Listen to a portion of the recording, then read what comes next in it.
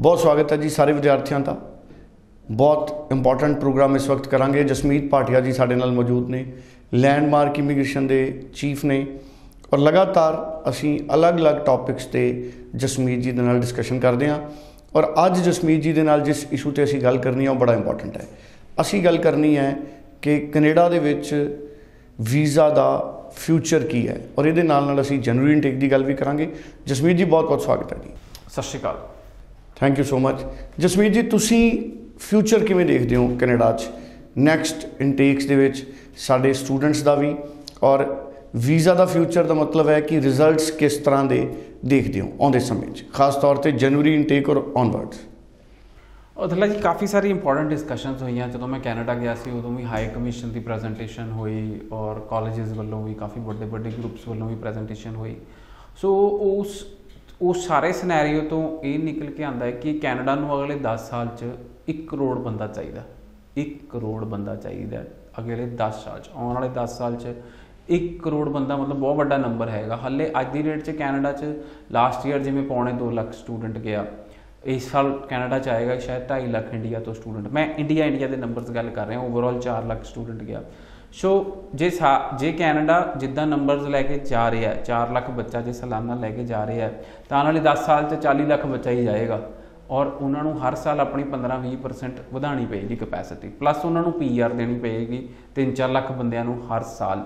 ਸੋ ਜੇ ਅਸੀਂ ਨੰਬਰਸ ਦੀ ਗੱਲ ਕਰੀਏ ਜਾਂ ਫਿਗਰਸ ਦੀ ਗੱਲ ਕਰੀਏ ਤਾਂ Canada needs lot of people from all across the world ਮਤਲਬ ਕਿ ਸਾਰੀ ਦੁਨੀਆ ਚੋਂ ਉੱਥੇ ਉਹਨਾਂ ਨੂੰ ਲੋਕ ਚਾਹੀਦੇ ਨੇ ਆਪਣਾ ਕੰਟਰੀ ਰਨ ਕਰਨ ਵਾਸਤੇ ਸੋ ਫਿਊਚਰ ਬਹੁਤ ਬ੍ਰਾਈਟ ਹੈ ਪਰ ਫਿਰ ਤੁਸੀਂ ਗੱਲ ਕਹੀ ਕਿ ਰਿਫਿਊਜ਼ਲ ਕਿਉਂ ਆ ਰਹੀ ਹੈ ਚੰਗੇ ਕੇਸਿਸ ਨੂੰ ਰਿਫਿਊਜ਼ਲ ਆ ਰਹੀ ਹੈ ਕਈ ਰਿਫਿਊਜ਼ਲ ਵੀ ਆ ਰਹੀ ਹੈ ਵੀਜ਼ਾ ਵੀ ਆ ਰਹੇ ਹਨ ਸੋ ਪਹਿਲਾਂ ਕੀ ਹੁੰਦਾ ਸੀ ਕਿ 6 ਸੀਚ ਵਾਲੇ ਬੱਚੇ ਨਾ ਘੱਟ ਸੀ ਓਵਰਆਲ 6 ਬੈਂਡ ਵਾਲੇ ਬੱਚੇ ਜ਼ਿਆਦਾ ਸੀ ਸੋ ਉਹਨਾਂ ਨੂੰ ਓਵਰਆਲ 6 ਬੈਂਡ ਵਾਲੇ ਬੱਚਿਆਂ ਨੂੰ ਵੀ ਵੀਜ਼ਾ ਦੇਣਾ ਪੈਂਦਾ ਸੀ ਆਪਣੇ ਨੰਬਰ ਅਚੀਵ ਕਰਨ ਵਾਸਤੇ।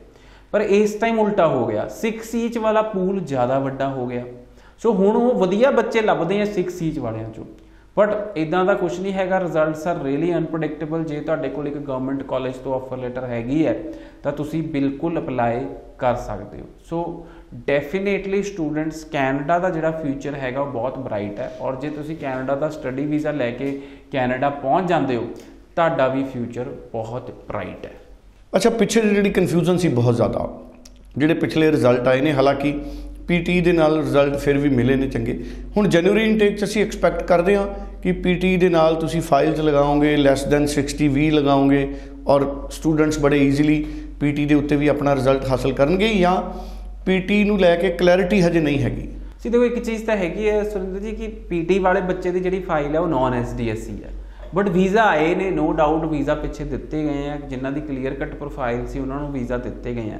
ਹੁਣ ਕਲੀਅਰ ਕੱਟ ਪ੍ਰੋਫਾਈਲ ਦਾ ਮਤਲਬ ਕੀ ਹੋਇਆ? 22 ਪਾਸ ਆਊਟ ਬੱਚਾ 70% 65% ਨੰਬਰ ਆਲ ਸਬਜੈਕਟਸ 50 ਤੋਂ ਉੱਤੇ, ਔਰ ਪੀਟੀ ਚ 58 ਨੰਬਰ ਵੀਜ਼ਾ ਆ ਸਕਦਾ, ਬਿਲਕੁਲ ਆ ਸਕਦਾ। 21 ਪਾਸ ਆਊਟ ਬੱਚਾ ਕਲੀਅਰ ਕੱਟ ਪ੍ਰੋਫਾਈਲ ਹੈ, ਕੋਈ ਵਿੱਚ ਝੋਲ ਮਾਲ ਨਹੀਂ ਹੈਗਾ। ਪ੍ਰੋਬਲਮ ਕਿੱਥੇ ਆਂਦੀ ਹੈ? ਤੁਹਾਡੇ 7 ਬੈਂਡ ਹੈ, ਪਰ ਤੁਸੀਂ 15 ਚ ਕੀਤੀ ਸੀ 12ਵੀਂ ਆਪਣੀ, ਉੱਥੇ ਪ੍ਰੋਬਲਮ ਆ ਗਈ। 7 ਸਾਲ ਵਿੱਚ ਤੁਸੀਂ ਕੀ ਕੀਤਾ? ਫਿਰ ਤੁਹਾਡੇ ਭਾਵੇਂ 6 ਈਚ e ਹੈਗੇ ਆ, ਪਰ ਤੁਸੀਂ ਆਪਣੇ ਗੈਪ ਐਕਸਪੀਰੀਅੰਸ ਸਾਰੇ ਜਾਲੀ ਲਗਾਤੇ ਤੁਸੀਂ, ਮੈਂ ਸਾਰਿਆਂ ਨੂੰ ਫੇਰ ਕਹਿਣਾ ਕਿ ਕੋਈ ਵੀ ਫੇਕ ਡਾਕੂਮੈਂਟ ਆਪਣੀ ਫਾਈਲ 'ਚ ਨਾ ਲਗਾਓ, ਜੇ ਤੁਸੀਂ ਚਾਹੁੰਦੇ ਹੋ ਕਿ ਤੁਹਾਡੀ ਫਾਈਲ ਤੇ ਵੀਜ਼ਾ ਲੱਗ ਕੇ ਆਵੇ। ਬਿਲਕੁਲ ਫੇਕ ਫਾਈਲ ਤੋਂ ਤਾਂ ਜ਼ਰੂਰ ਸਟੂਡੈਂਟਸ ਨੇ ਡਰਨਾ ਹੈ। ਤੁਸੀਂ ਨਾਨ ਐਸਡੀਐਸ ਨੂੰ ਵੀ ਕਲੈਰਿਟੀ ਦਿੱਤੀ ਹੈ। ਹੁਣ ਜਦੋਂ ਨਾਨ ਐਸਡੀਐਸ ਦੀ ਜਦੋਂ ਗੱਲ ਕਰਦੇ ਹਾਂ ਪੀਟੀ ਦੇ ਵਿੱਚ ਤਾਂ ਸਮਝ ਆ ਰਿਹਾ ਕਿ ਰਿਜ਼ਲਟਸ ਆ ਰਹੇ ਨੇ।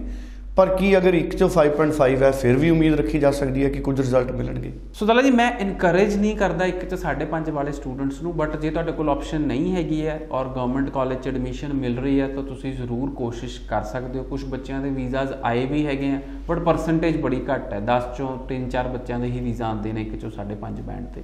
ਸੋ ਕੋਸ਼ਿਸ਼ ਕਰੋ ਕਿ ਆਪਣੀ ਫਾਈਲ ਐਸਡੀਐਸ ਕਰਕੇ ਹੀ ਲਗਾਓ ਤਾਂ ਤੁਹਾਨੂੰ ਬੈਨੀਫਿਟ ਮਿਲੇਗਾ ਵੀਜ਼ਾ ਰਿਜ਼ਲਟਸ ਬੈਟਰ ਮਿਲਣਗੇ। ਲੈਂਡਮਾਰਕ ਇਮੀਗ੍ਰੇਸ਼ਨ ਪਿਛਲੇ 15 ਸਾਲਾਂ ਤੋਂ ਸਰਵਿਸਿਜ਼ ਦਿੰਦਾ ਆ ਰਿਹਾ। ਔਰ ਸਾਡੀ ਐਕਸਪਰਟਾਈਜ਼ ਹੈਗੀ ਹੈ student visa dependent visa tourist visa permanent residency ਕਿਸੇ ਵੀ ਤਰ੍ਹਾਂ ਦਾ ਵੀਜ਼ਾ ਤੁਸੀਂ ਕੈਨੇਡਾ 'ਚ ਲੈਣਾ ਚਾਹੁੰਦੇ ਹੋ ਤਾਂ ਲੈਂਡਮਾਰਕ ਇਮੀਗ੍ਰੇਸ਼ਨ ਤੁਹਾਨੂੰ ਐਡਵਾਈਸ ਕਰ ਸਕਦਾ। ਔਰ ਪਿਛਲੇ 15 ਸਾਲ 'ਚ ਬਹੁਤ ਸਾਰੇ ਲੋਕ ਹੈ ਜਿਹੜੇ ਰੈਫਰੈਂਸਿਸ ਦਿੰਦੇ ਆ, ਸਾਨੂੰ ਸਾਡੇ 9 ਆਫਿਸਿਸ ਹੈਗੇ ਅਕ੍ਰੋਸ ਇੰਡੀਆ ਤੁਸੀਂ ਸਾਨੂੰ ਕਿਤੇ ਵੀ ਮਿਲ ਸਕਦੇ ਹੋ। ਤੁਸੀਂ ਜੇ ਮੈਨੂੰ ਮਿਲਣਾ ਚਾਹੁੰਦੇ ਹੋ ਤਾਂ ਮੁਹਾਲੀ ਆਫਿਸ ਆ ਕੇ ਮਿਲ ਸਕਦੇ ਹੋ। ਸਾਡੀ ਕੋਸ਼ਿਸ਼ ਇਹੀ ਹੈ ਕਿ ਤੁਹਾਨੂੰ 100% ਜੈਨੂਇਨ ਵੀਜ਼ਾ ਗਾਈਡੈਂਸ ਦਿੱਤੀ ਜਾਵੇ। ਬਹੁਤ ਹੀ ਇੰਪੋਰਟੈਂਟ ਇਨਫੋਰਮੇਸ਼ਨ ਸਾਡੇ ਨਾਲ ਜਸਮੀਤ ਜੀ ਨੇ ਸਾਂਝੀ ਕੀਤੀ ਹੈ। ਲੈਂਡਮਾਰਕ ਇਮੀਗ੍ਰੇਸ਼ਨ ਤੋਂ। ਸੋ 90413 90412 ਤੇ ਸੰਪਰਕ ਕਰੋ। ਕੋਈ ਵੀ ਕਨਫਿਊਜ਼ਨ ਹੈ ਕਲੈਰਿਟੀ ਚਾਹੀਦੀ ਹੈ ਤੇ ਜਸਮੀਤ ਜੀ ਤੋਂ ਲਓ। Thank you so much sir ਧੰਨਵਾਦ।